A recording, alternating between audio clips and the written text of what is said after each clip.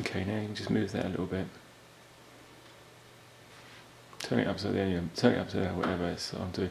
Just lift your hand slightly, it's your ring. That's it, you're perfectly in the view now. So just move it around, I want to see your hand moving around, that's it.